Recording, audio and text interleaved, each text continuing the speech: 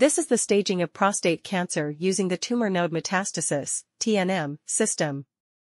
T1A, T1B, and T1C are incidentally found tumors in a clinically benign gland after histological examination of a prostatectomy specimen. T1A is a tumor involving less than 5% of the resected specimen.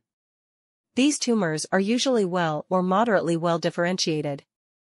T1b is a tumor involving more than 5% of the resected specimen.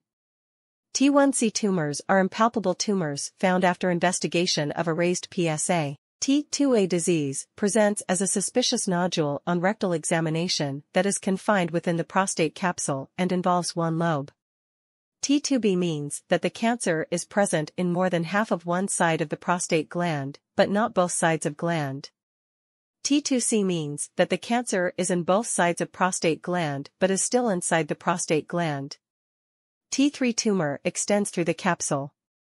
T3A is unilateral or bilateral extension. T3B is extension to seminal vesicle.